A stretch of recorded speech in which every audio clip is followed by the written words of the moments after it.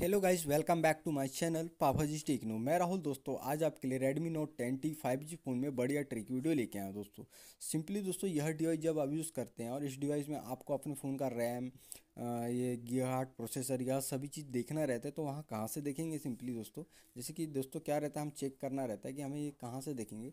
Simply आप ये कैसे देख पाएँगे? तो वीडियो पे बने रहिएगा, वीडियो बहुत महत्वपूर्ण होने वाली है तो प्लीज़ दोस्तों वीडियो को लाइक कीजिएगा और चैनल को सब्सक्राइब ज़रूर कीजिएगा दोस्तों। उम्मीद है आप हमें बिल्कुल सपोर्ट करेंगे।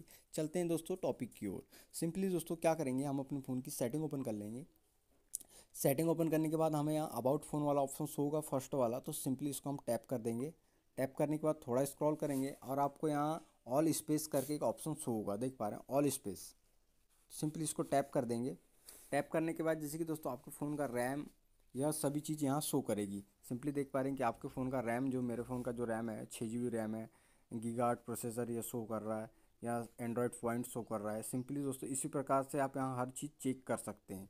जैसे कि दोस्तों देख पा रहे हैं। सिंपली यहाँ से आप डेवलपर ऑप्शन जो होता है, उसे इनेबल भी कर सकते हैं। आपका स्टोरेज इतना यहाँ शो कर रहा है, देख पा रहे हैं। मेरा स्टोरेज एक सौ अट्ठाईस है और इसमें कुछ जी फंसा हुआ है, कुछ बैकअप है। तो सिंपली दोस्तों, इस प्रकार से आप अपने फ़ोन का हर एक चीज़ यहाँ से चेक कर सकते हैं। कि आपके फ़ोन में रैम कितनी है गीगार्ड प्रोसेसर कितना है एंड्रॉयड पॉइंट कितना है यह सभी चीज़ कर सकते हैं, आपके फ़ोन का रैम, स्टोरेज, जो भी है, या सभी चीज़ आप यहाँ से चेक कर सकते हैं दोस्तों। तो जैसे कि दोस्तों, उम्मीद करते हैं हमारी वीडियो आपको पसंद आई होगी। तो प्लीज़ दोस्तों, वीडियो को लाइक कर दीजिएगा और चैनल को सब्सक्राइब करना बिल्कुल ना भूलिए दोस्तों। प्लीज़ दोस्तों, चैनल को सब्सक्राइब ज़रूर कीजिएगा दोस्तों। मिलते हैं नेक्स्ट वीडियो में। जय माता दी दोस्तों।